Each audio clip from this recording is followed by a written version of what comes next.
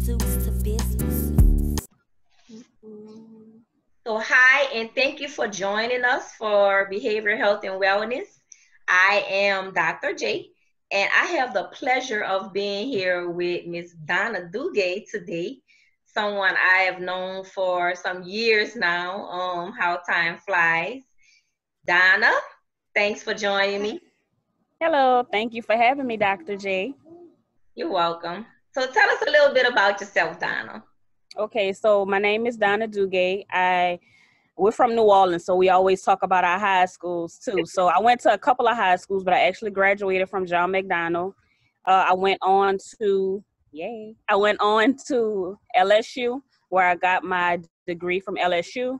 I came to UNO and got a master's degree in public administration. I have a background, I worked as a counselor after Hurricane Katrina, helping families to rebuild, and I kind of really fell in love with recovery and rebuilding. But I didn't find a job in that field other than being a counselor. Well, not I can't say a counselor, but being a um like a, a worker, a caseworker. Right. I left and I went to City Hall where I met you, Dr. Jay. um, I left there and my heart and my passion kind of took me to another direction after I left the city. Um, the politics was a lot. So I left and I went into the medical field and then I got into insurance. So that's where this story kind of stops. I am currently into the insurance field. I'm an insurance broker. I do life insurance and health insurance for Medicare. Okay. So are you doing that privately or are you contracted with a company? Tell me about being an insurance broker. Okay, so when you're a broker, you usually work for a company and like it's a just like a, a basic company where you have your brokers, you have all the agencies, and then you contract with each particular agency. So I work with all of the Medicare agencies in the state. So that's like Humana, People's Health, WellCare, United Healthcare, Blue Cross, and Aetna. Right, good. So that's the um I know some time ago that was considered the Bayou Health plans. Is that still Bayou Health or Right. So when it's Bayou Health, that's more Medicaid. So right. I help Medicaid as well. So I do the Medicaid and the Medicare side, but those particular plans are the Medicare plans. And then when they have like the Bayou Health plans, we also have to work with them as well. Okay, that sounds great. And your your typical clientele will be whom? My typical clientele would be seniors, age is usually 65 and older, or people that are younger that have like um, ESRD or heart conditions, people that have been fully disabled for more than two years. Okay. So, Donna, I know that you've told me about your work with the city and you're passionate about um, being an insurance broker. Um, we cannot not speak about Urban NOLA. right. Tell us about Urban NOLA. People, who, whoever don't know, because Urban NOLA has really been doing some great things. Right. So actually, that started back in 2009 or 2010 when we were still at work. we were working together. We came so far because we both had websites, we both had organizations, and we and I, I must thank you because you kind of pushed me and you you told me we got to do it. So we both signed up for that plan and we figured out how to do our websites, and our websites have come a long way. So basically, I went to Atlanta one time for a Saints game, and my cousin and I were out there. We were like I want to go out, but we don't know where to go. So we had no clue where to go. And I was like, I wish they had a website. Now, I don't know if they had a website at the time because I didn't know it. I wasn't from Atlanta. But when I came back home from the Saints game, when I had so many, so much time to myself in the office, I said maybe I could create one for New Orleans. So I did it and I put everything together.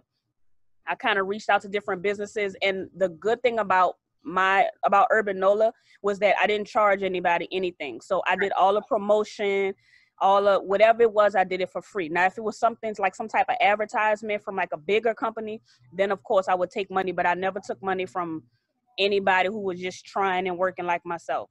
Right. And that's great. And you know, I think that we do have to get to a point where we understand that our business is is growing and it's in demand. So when you get to the point where you are setting up your contracts and you do have your fees, it's nothing wrong with that because you work hard. And when we look at Urban NOLA, we know what we're going to see.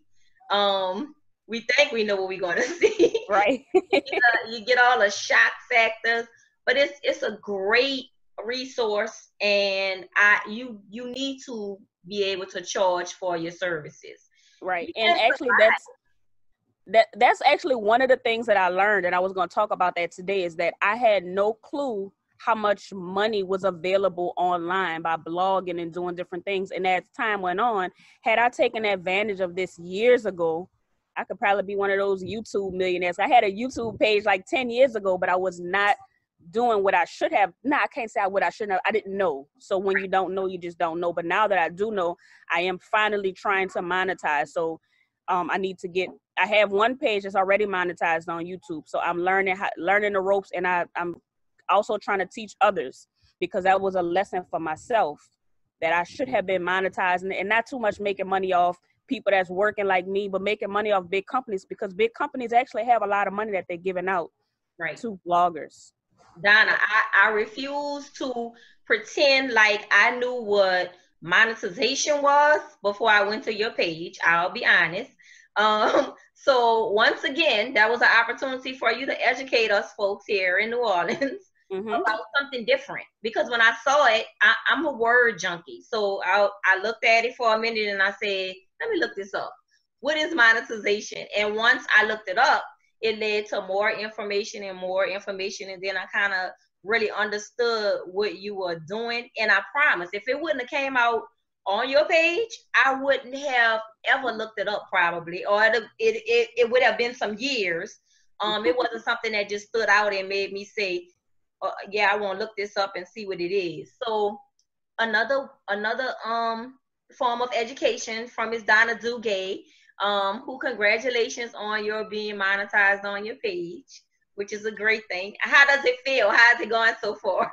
It feels good. I mean, I'm not making a million dollars or anything, but it's all a, it's it's all about just starting. You can't make a million till you make one. So right, right. so I'm I'm doing good, and um, I'm, I need to try to get that Urban NOLA page monetized. And like I said, when I first started Urban NOLA over like about ten years, my first page, my first video was at like 2010 or something like that right. on YouTube. 2010. Back in the day, you could only make the YouTube video couldn't even be more than 10 minutes. Now we got hour long videos and stuff. But like I said, I was not monetizing. Then I forgot that password. I had to create another account and another account. So I finally have the Urban NOLA YouTube where I have most of the second line videos. And actually, I think you probably was the first person to invite me to a second line. So the first second line. yeah. So yo, and I've been hooked ever since. I don't think I missed one yet. So your, I think y'all video was one of my one of my first second line videos. Right. I mean, you know what? Living in New Orleans, we we have we blessed to have many passions. Mm-hmm. And that's one of mine. I love the second line. If you don't know me, I love the second line. Now I can't say I'm the best second line person, but I, I love it. I love the culture. I love just um being around people and seeing the different the outfits because it's a fashion statement it's so much that goes with that. But that's just another reason as i said when we first started donna you know you have to come back. It's no way you're not coming back. You're doing so much and you know we have to celebrate each other especially in this time when uh, i just believe that everybody has it's just so dark it, that's the, the best word to describe it. It's dark. And the only way we will begin to see the light is if we continue to shine, even in the midst of this darkness. So um, I want to find out who would you consider to be your accountability partners? So as of now, and I, I just actually found out what accountability partner was um, so I don't really have one now, but to be honest with you, and I'm not just telling you this, when we were working together, you really told me a lot of stuff about business that kind of helped, you know, that kind of really helped me. Like I still remember some of the things we were saying. I think I remember one day you answered the phone and you was like, Yes, this is Lisa. And I was like, What is going on? She was like, Girl, you can't let them know you you know what's going on. So I really like that. So just kind of all of that stuff that I learned from the from the conversation and everything that we were doing that really helped to help you know keep me accountable because a lot of times nobody's going to run your business like you. You know how you want everything to be done. And eventually you want people to come work with you but you want to make sure that it's like a well-tuned machine. Um so you were one of the people that inspired me to do that. And just to see how you were running everything when you had your mother's helper you were doing your programs you and you just kind of steadfast and that's that's really inspirational to you know another woman Thank you, Don. Look, you're not supposed to be making me cry. um, wasn't expecting that. But you know, as I said, great greatness, we you attract greatness. And I, I really do believe that you're doing a great job, Donna. For people who don't understand what I mean when I say bossed up, my um what I envision is talking to people who are actually in the community, who are bringing about change, who are offering necessary services, um, successful, solution driven, efficient in your craft, dedicated to a worthy cause, uplifting individuals, people, groups, um, and most important, a person of good character. And you have a great character, Donna, and we look forward to seeing what you're going to do in the future. Um, I look forward to seeing those kids. I told you, you have to bring those great kids back on on here because Donna has some great kids. And you know what? When you set the foundation, mm-hmm. they learn from children. So we're setting foundation so our children can actually grow up and understand what business is. I don't right. know about you, but it was it, it was very difficult to navigate through the process many times because when you come from a background from business and leadership and community involvement, it's easy to just jump in. When you're navigating, trying to find your way, it's very difficult. And sometimes we fall, but I'm not I'm not good at falling. I promise. I don't want to really fall in public, which I have cried in public before.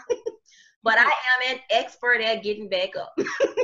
so that is that's what I'll claim because I mean every every opportunity, every experience, I, I, I I'm not perfect at. I fall, but I look for opportunities to continue to be as great as I can. And this is one of those opportunities where I can reach out to other people who I feel are aspiring to be great also. So that's why this segment actually was was established. Um, I am a doctor of behavioral health for those who don't know. And what that means is um, not only a doctor of behavioral health, I'm also a social worker um, and a journalist. And just my children think I love school. To be honest, I had um, with so little direction, I found education as an opportunity to make sure I was well rounded. So I didn't anticipate to continue to just get all those student loans because that's what I have a bunch of student loans.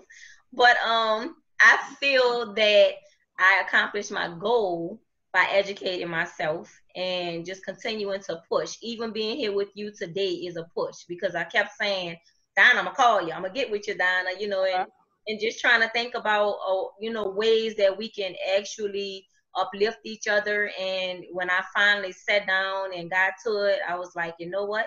I'm doing it today, no matter what.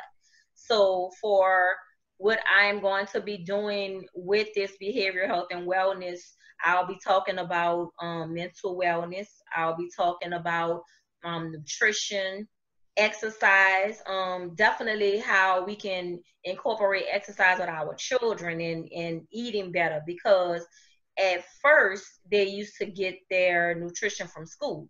Right. And they would have those those balanced meals. And now they're at home they feel like they can get whatever they want. It's always snack time. And we have to really let them know what's a good snack and um right. they still have to exercise and things of that nature. But in the meantime i am so grateful that you took the opportunity to speak with me today and before we wrap up, I want you to let people know how they can get in contact with you if they have any questions or concerns. Okay. Uh, you can reach me on, you can go to the website and it's urbanola.com. Of course, we're in quarantine, so they don't have that many events, so you won't see a lot of events, but you can reach me at urbanola.com. I also have a personal blog. It's called urbanmommy.net. So that's why I talk about parenting and different things that's going on. That's a page. It's on YouTube as well, urbanmommy.net, Urban NOLA. is also on YouTube. You can reach me, or I am Urban Mommy on Instagram, or you can email me at um, you can just use my personal email address because it goes straight to my phone. It's my name, D O N N A D U G as in girl, U E at yahoo.com. Thanks again, Donna. It was great to see you. Looking forward to getting with you soon in the future.